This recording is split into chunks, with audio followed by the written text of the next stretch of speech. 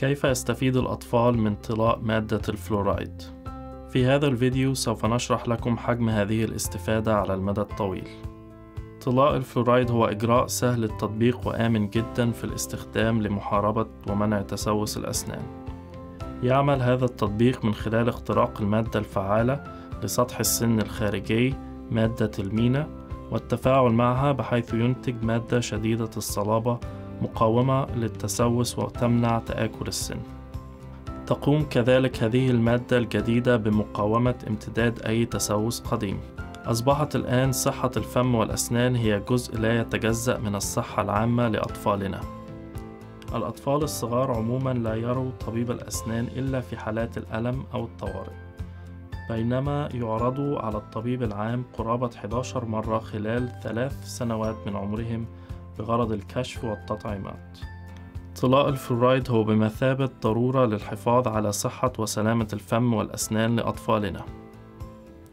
عمليا لا يستغرق هذا الطلاء أكثر من دقيقتين وهي عملية سهلة جدا. ينظف السن بقطعة جافة من الشاش حتى يجف تماما. نقوم بطلاء ودهان أسطح السن بواسطة فرشاة صغيرة مغطاة بمادة الفلورايد اللزجة. والتي تتصلب بمجرد ملامستها للعاب. يمكن للأطفال بعدها تناول الطعام والشراب مباشرة بشرط ألا يكون طعام خشن وذلك لباقي اليوم.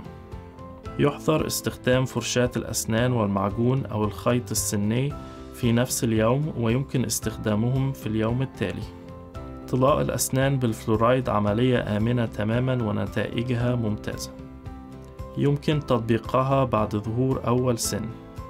أثبتت الدراسات الإكلينيكية أن الأطفال الذين يواظبون على الطلاء كل ثلاثة أشهر هم أقل عرضة للتسوس بكثير عن الآخرين.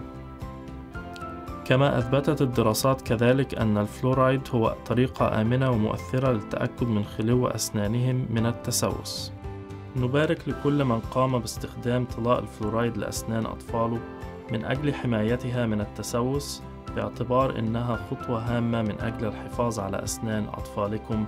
سليمة كذلك الصحة العامة وصحة الفم طوال حياتهم.